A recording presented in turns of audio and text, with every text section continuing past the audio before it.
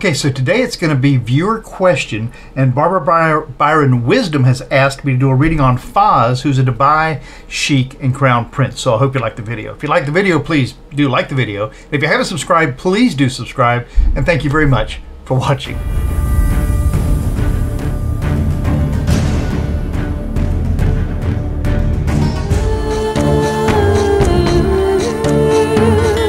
Hey, I'm Mark, and this is my journey through tarot. Come on.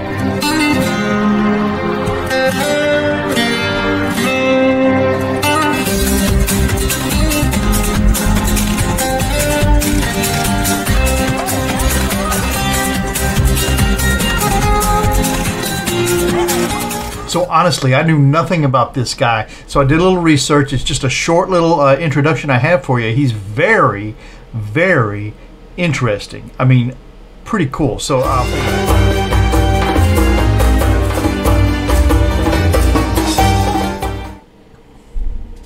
Okay, so viewer Barbara Byron Wisdom, love that name, uh, asked for a reading of Fazza, F A Z Z A. He's a Dubai sheik and crown prince. Now, in 1982, Fazza, his birth name was Sheikh Hamdan bin Mohammed bin Rashad Al Maktoum, and was born on November 14th, so he's a Scorpio, just like me. Of course, I was born later in the month.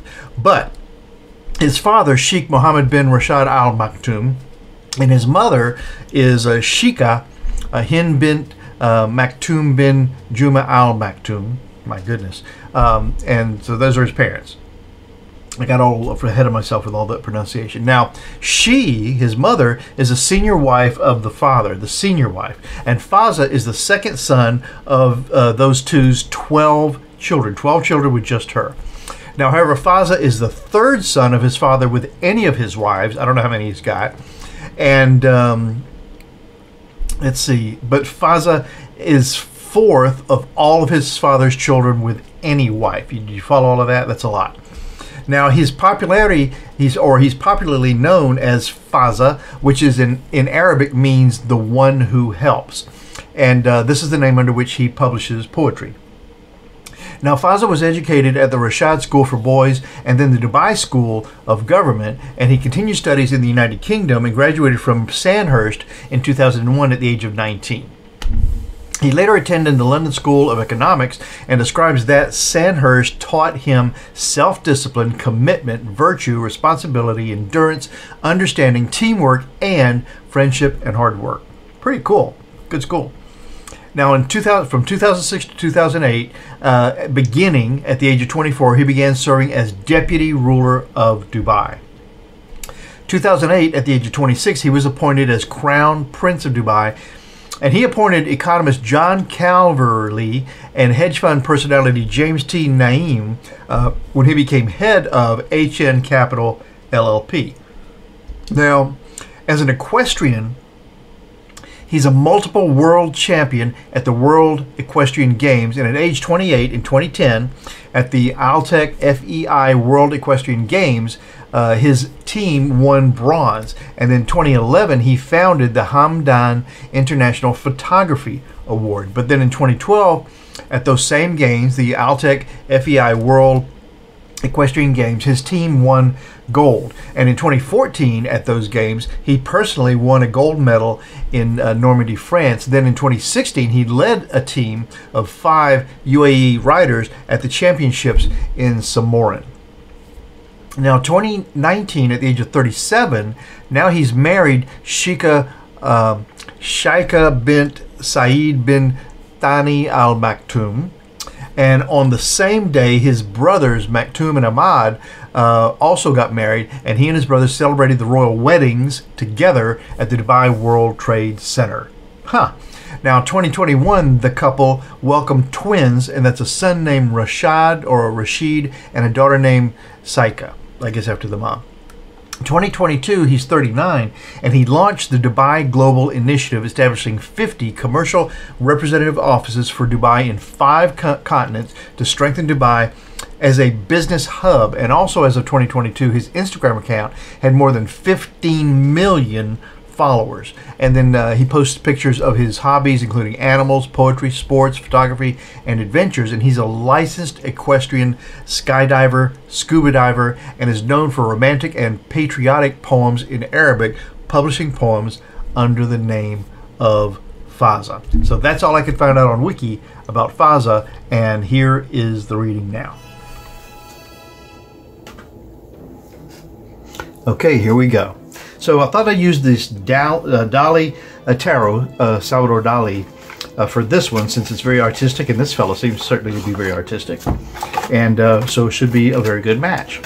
These come in a huge box, and if you go stay till the end of the video, you'll see me uh, show you these cards in more detail and the, the huge box that they came in. It's pretty interesting. But for right now, Fazza What an interesting uh, name. And thank you so much, uh, Barbara Byron Wisdom, for suggesting this. Fascinating guy. I could only find his achievements, his accomplishments on Wiki. I really couldn't, I, or I didn't really look for what might be controversial about the fellow. But from, you know, just that, it sounds like he's an interesting person, other than being a crown prince of Dubai. I mean, I certainly have some hesitation about those kings uh, in Dubai. Maybe I shouldn't, but I do. But um, so we'll use these cards to kind of get started. And you know, this shuffling bit and my having a little conversation in the beginning here is me kind of getting focused and trying to tune in to what might uh, be uh, interesting about whoever I'm doing the reading on. But before we do too much, you know what's coming next. If you watch my channel at all, we're going to have just a moment a little bit of meditation.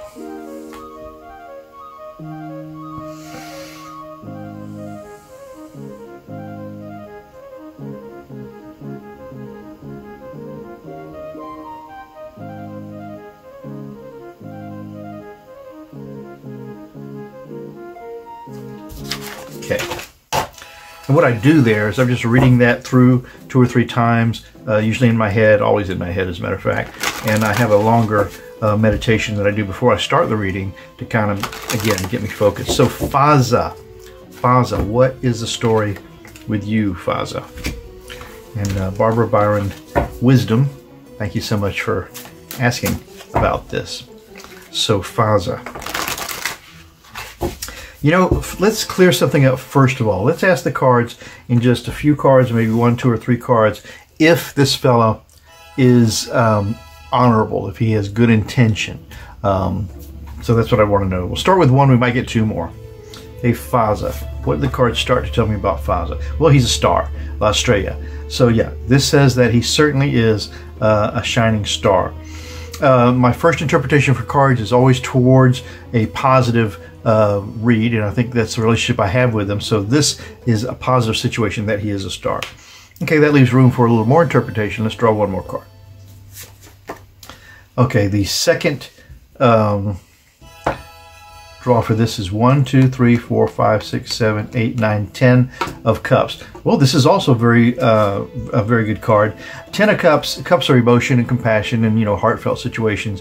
And the ten of cups is, you know, like happy family. It's like um, a, uh, a, rainbow. It's almost like a wish is fulfilled, but it's a very uh, positive uh, card to get. So we have a star and we have the ten of cups. So all good, all family and uh, nice uh, energy. The final card for this first little piece here about Fazza is La Emperatrice. And this is exactly uh, right. So the Empress is uh, of the earth, of nature. She's holding the staff and the orb, symbols of government and of ruling a people or ruling situation too. And she's uh, backed by just this ocean of emotion. So this puts him, and Imperatrice is a good position because that'd be the second person in power, and he is the crown prince. So he is not the emperor. He is in what would could be the, considered the position of Imperatrice or the empress. So all good cards. I we seem to be on the right track as far as these identifying who it is that I want to read. So this is Fazza. Star, generational emotional happiness, and second in charge of what's going on in his uh, in his life, in his country, uh, in his world. So now, let's see what can the cards tell us? Now, Barbara didn't ask specifically about Fazza. She just wanted a reading on him. So we'll just do a general, we'll start with six cards and see if that leads us to any more and see what the cards can tell us about Fazza. Interesting, interesting name. Okay, so let's get six cards right off the bat. One, two, love these Dali cards. Three, if you do wait to the end, you'll see that they're very interesting cards. And as a matter of fact, they were first commissioned for a James Bond movie, but they never made it into the movie. And I think I talk about that in the end. So here we go, six cards. Fazza. What can the cards tell us about this, this person? Okay, Emperador. So the the signifier card of this reading is that he will be the emperor. Very interesting. I mean, it's almost chilling how sometimes the cards are right on point. So the signifier card is the emperor. But what's the challenge to that?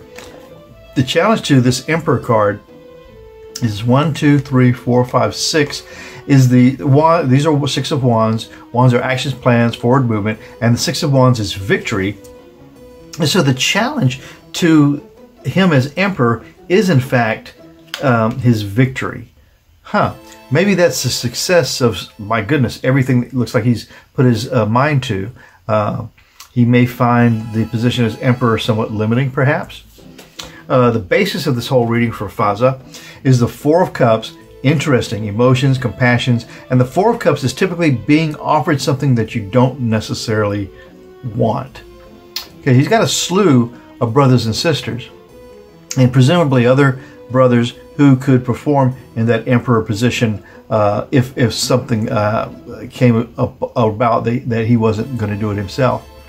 And uh, so the basis of this whole thing is that uh, kind of being hesitant about some sort of a compassionate, emotional thing that's offered to you, and that has to be becoming the uh, king of um, this Dubai situation.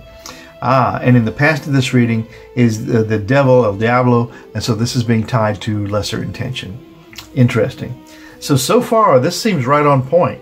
Uh, in the sky of this reading for Fazza is the loon, and that's the La, La Luna, the moon, and this is secrets being revealed. And so look at this. We have a, a thriving metropolis here. We have the moon with all of her secrets uh, about to be uh, spilt. Uh, we have this cup of emotion just pouring out some sort of a red uh, truth over everything, and the secrets crawling up out of the ocean, and uh, the um, uh, anim- the uh, wolf and the dog baying at the moon. So, what's in the sky of this is the secrets being revealed. Typically, what's in, in the, the, the leading position, the sky of a reading, is kind of what you're aim, aiming for. So, that's interesting. So let's see what this, how this turns out here. And then the likely outcome of this for Fazza is, okay, we're right back to that Ten of Cups, that happy family. So the likely outcome is very is very good for him. You know, I think we're going to do four more cards just to see if he could tell us a little bit more because right now it's just kind of defined him again and told us about his life's path and uh, and what his hesitations might be, his victories. So three more cards uh, about or four more cards rather, about Fazza. The very uh, self of that question, what can you tell us about Fazza, is strength, fuerza. So yeah, so he has strength. Wonderful, wonderful reading. And uh, the environment that that strength is in, then, is the uh, Four of Wands. And you can see here, one, two, three, four of Wands.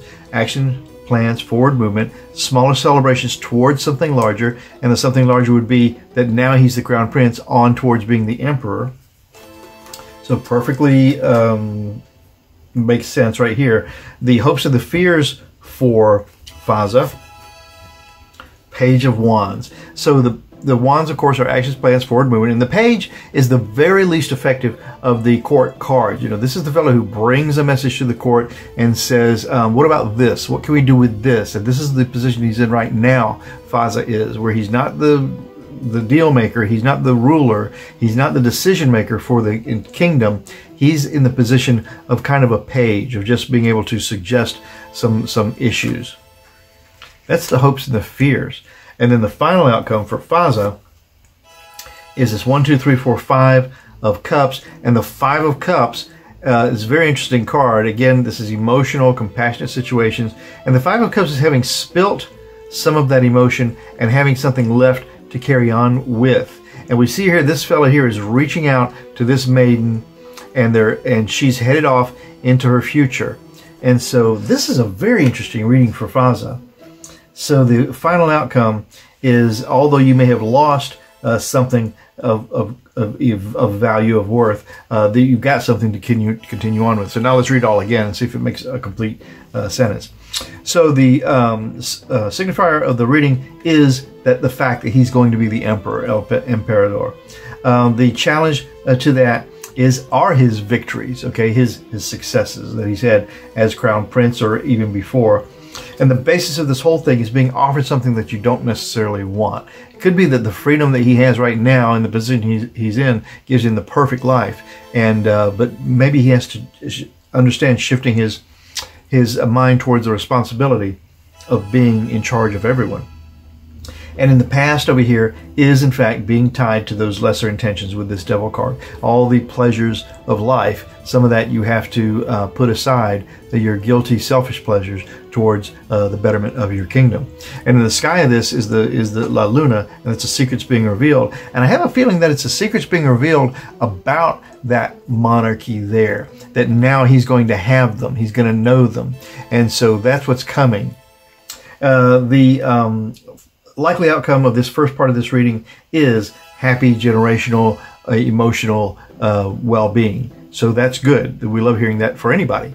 Um, the um, especially if they're a good person, which it seems like uh, these cards seem to think that he is. The very self of that question is strength, having the strength to be the person that he's going to have to be, which it seems that he does have. And then the environment that that's in, with this Four of Wands, are all these smaller celebrations that he has towards that larger celebration of being uh, the king.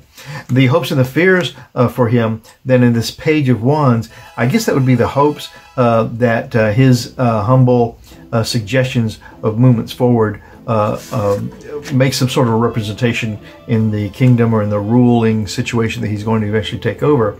And then the likely outcome of the whole thing is that it won't be probably as fulfilling or happy a situation as he has now because we have the Five of Cups representing a lot of the stuff being spilled. I think this is the freedom of his, his life as it is now, but still having something that you carry forward into your future. And um, so that's where we're at. Fazza, it's a very good reading for him, uh, Barbara, and um, it lays out that he's a good person, apparently, according to these cards, and uh, he's enjoying his life and he's not necessarily so much looking forward to the responsibilities that are ahead of him, uh, but he will uh, carry on uh, with what he has left. Hope that uh, solved your uh, quench to know more about Fazza. Well, that's my first reading on a sheik, on a crown prince, and so Tell me what you think. If it was interesting for you, or if it wasn't interesting for you, or if you have something else you want me to read on. And by the way, I've got some more videos coming up on viewer questions uh, soon, so stay tuned to this space. Yeah, I'm going to show you the cards now. Okay, so I got these great cards, and if you ever doubted that I'm a sucker for a great packaging of cards, then this will confirm it. So these cards are by famed artist Salvador Dali. He includes himself in uh, the cards and his wife, and they also include uh, examples of some of his artwork and other uh, artists uh, that he felt were appropriate for the for the interpretation. Uh, these cards were created. Uh, or were um, commissioned in 1973 for the film Live and Let Die. However, Dali's um, price it was, I guess, too much. So contract uh, negotiations broke down. And then finally, 10 years later, by 1984, Dali completed the tarot deck, 78 cards, and had them published for the first time, limited edition. And now Taschen has re, um, uh, printed these cards in this amazing uh, box. So when I ordered them, I thought I'd get a box, you know, about this big. And when this thing came in the mail, I was totally shocked. They're not cheap. They're quite expensive. But anyway, so this is an amazing cover. This box is like a, a crushed velvet uh, kind of finish here. And it's just everything, everything, everything that gets me going about tarot card uh, containers, if you can't tell from my excitement. So, and then there's lots on the back here. It's in three different languages. It's in uh, Spanish, in German, and in English. And then the way this thing opens up, it's just like this. And once you get inside, you've got this amazing booklet uh, to describe uh, how uh, something about the cards and how to use them. The booklet is a full color, and then each page has three interpretations of the cards. When I say interpretations, I mean that's English, uh, German, and Spanish. So um, lovely, lovely book, amazing. I mean, the price of the cards was was the, the price that I paid for this was worth it if I only got this book. The one uh, problem I have with it, however, is that it's beautiful, but the first part of this uh, book is uh, a lot that talks about uh, Dali and how the cards came to be. And as you can see, it's on this dark purple with this gold printing, and I can barely barely make it out. I'm going to have to use my magnifying glass eventually to read it, but uh, not today. And uh, so I've had these for a few days, and I've been uh, practicing with them. I haven't tried to decipher this yet. It's just too dark, and I've got uh, vision problems that make it just even more complicated. But when you finally get to where they're talking about the cards themselves, it's fantastic because you got white background, easy to read. It's a little small, but still it's easy to read because they've, they've gotten everything on one page. And uh, amazing, amazing, amazing um, I'm so glad I got this. It was on a whim. Now the cards, look at how they're displayed. The cards themselves come in this really cool gold foil kind of, it's a typical box for tarot cards, but just the design is terrific. And then the cards themselves, I'll take them out here, put the box back, and well, I'll keep this out. And then I'll put this away. But I'll show you the cards quickly um, before we go any further. And I guess I'll have to leave this here so we have something to, to, to look at. And then uh, here, when you get into the inner sanctum, there's no more uh, instructions inside here. It's just this cool uh, foiled uh, box. And then the cards themselves are terrific. The back is a really beautiful uh, foil looking design. It's not foil, but it's a gold design. And this just simply says Dali over and over and over and over and over and over and over again. That's the back of the cards. The cards themselves are amazing.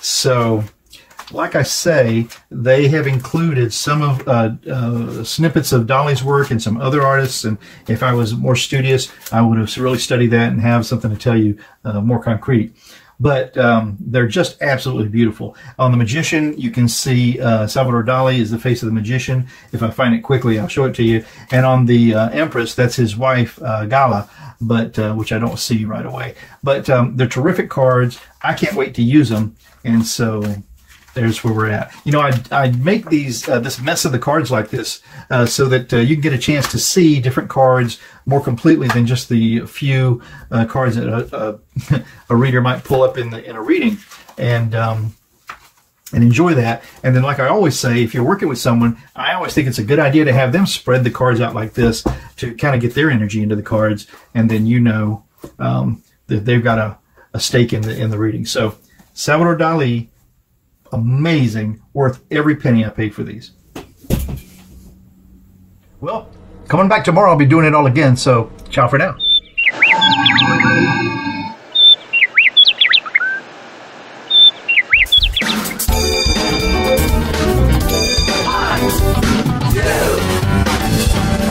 You really make a big difference. Thank you.